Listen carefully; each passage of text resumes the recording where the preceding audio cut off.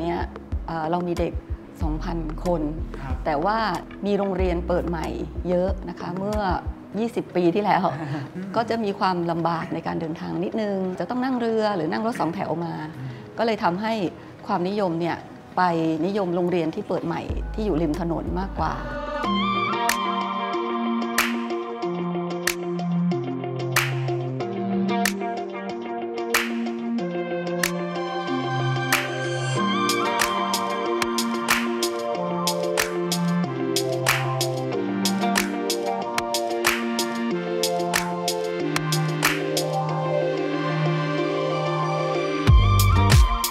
คือเรามีทรัพยากรที่ดี มันน่าจะสามารถที่จะพัฒนาโรงเรียน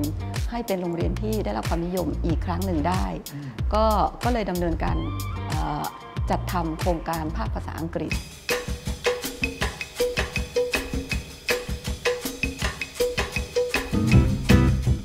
ภาษาเนี่ยมันไม่ใช่หมายความว่าเด็กทุกคนมาเน้นการเรียนภาษา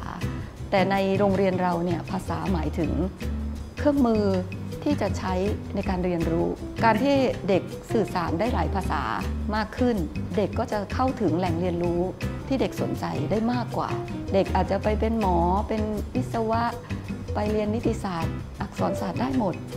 ก็เป็นโรงเรียนมัธยมที่ให้โอกาสเด็กที่มีความสามารถทุกๆแขนง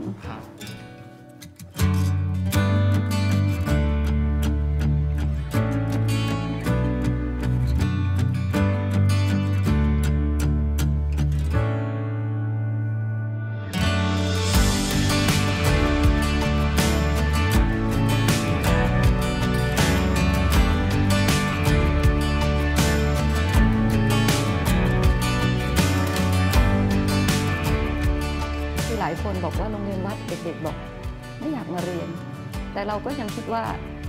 เด็กก็ต้องยอมรับกับการเป็นโรงเรียนวัด ซึ่งมันไม่ได้มีข้อเสียอะไรเลย มันมีแต่สิ่งที่ดีแล้วเราก็ยังคงรักษาความเป็นไทย ยึดหลักเศรษฐกิจพอเพียงและพระพุทธศาสนา